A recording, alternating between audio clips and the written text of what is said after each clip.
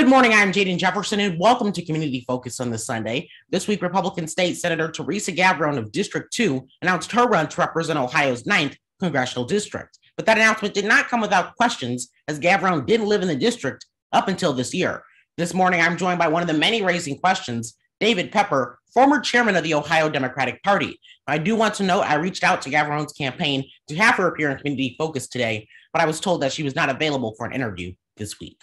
Well, I'd say my biggest concern is that Marcy Kaptur is, is an incredible public servant and has been for a long time for not just Toledo and the region, but the whole state. So, uh, my number one concern is what a setback it would be if she were ever replaced by anybody. She's a real star, and she no one knows Ohio better, no one champions better for Ohio. So, I don't care where her opponent lives or what she stands for or whoever else might run the bottom line is um, it would just be a bad idea to replace Marcy Kaptur with anybody. She's she is uh, most people in this country would love to have a congressperson as effective as she is.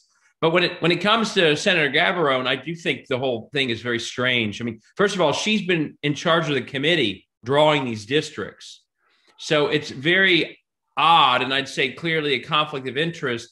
She she maybe should have disclosed the fact that she was thinking about running for Congress before she took on the assignment of drawing the districts. It's it, gerrymandering's bad enough.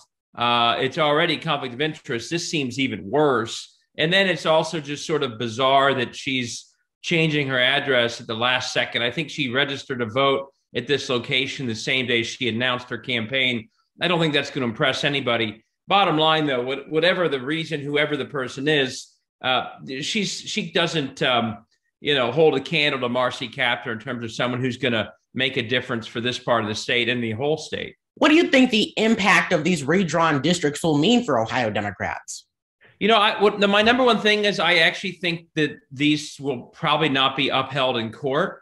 So I think we're going to be watching for months to, to see what they ultimately look like. I mean, Theresa Gavarone may have to move again. Let's put it that way, because the district um, the, the, the Constitution was changed by this decisive vote of the voters twice.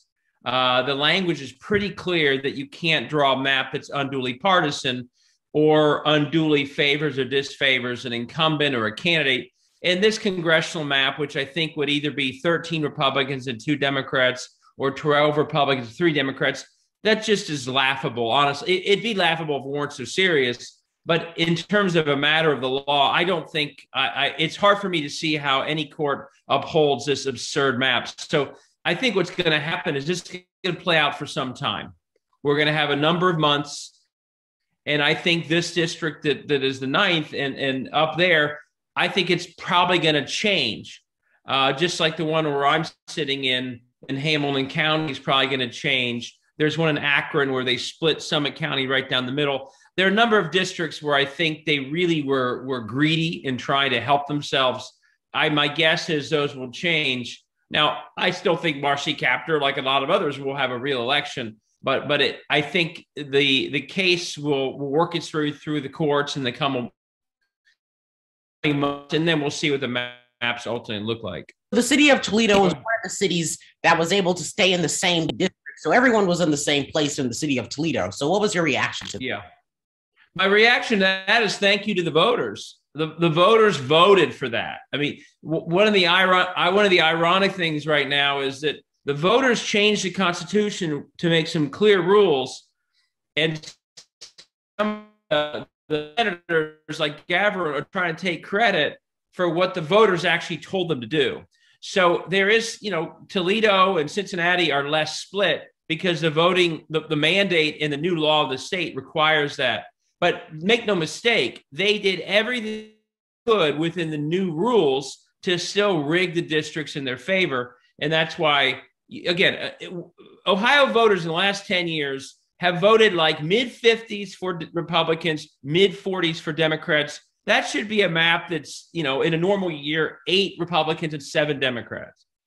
13 2 is ridiculous. 12 3 is ridiculous. They they they're not it's not defensible.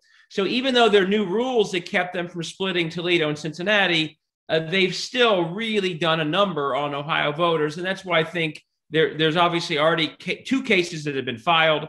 And I think it's hard for me to see how these current maps will be struck down. But to the extent there's anything better in these maps than the current maps, that's the voters who, with 75% of the vote, voted for that. It has nothing to do with the politicians. You know, Theresa Gavarone is a great example. Like she, she, they did everything they could on that Senate map. Where I'm sitting in Hamilton County, my county got split three different ways. Why? To try and protect an incumbent who otherwise would lose. Uh, Theresa Gavarone was right in the middle of that. Uh, and, and, and, then obviously, she, the whole time she was doing this, she was herself thinking about running. So it just is really tainted and I think the court in the end will have the, the, the uh, say. My guess is we'll strike it down, and then there's going to be a back and forth for some time, and then we'll see how it all shakes out. But but again, Theresa Gavarone may have to move again. That'd be one irony of this whole thing. David Pepper, former chairman of the Ohio Democratic Party, thank you so much for your time. Thanks. Take care.